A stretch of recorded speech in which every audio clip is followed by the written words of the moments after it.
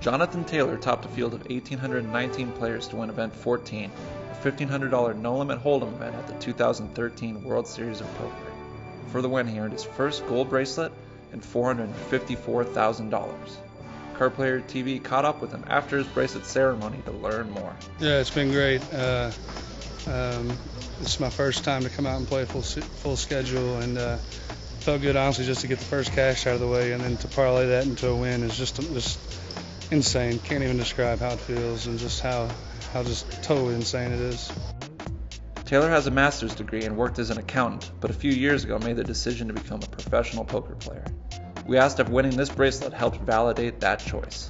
Yeah, it's validating for sure. Um, my family is skeptical of this for sure, and they, and the, the results I put up with the last year have made it a little easier for them. They're still not, they still don't absolutely love it, but uh, especially after getting the Masters and stuff. But yeah, it's it's certainly validating uh, to come out here and win a bracelet, and uh, I just feel so lucky to uh, have been in that spot so early. Uh, it's just just amazing. After making the move to become a poker pro, Taylor focused first on cash games.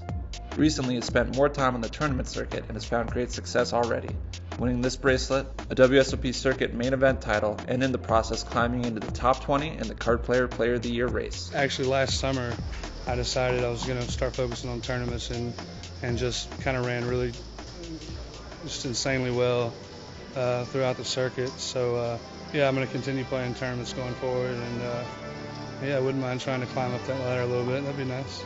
Congratulations to Jonathan Taylor, the champion of Event 15 at the 2013 World Series of Poker.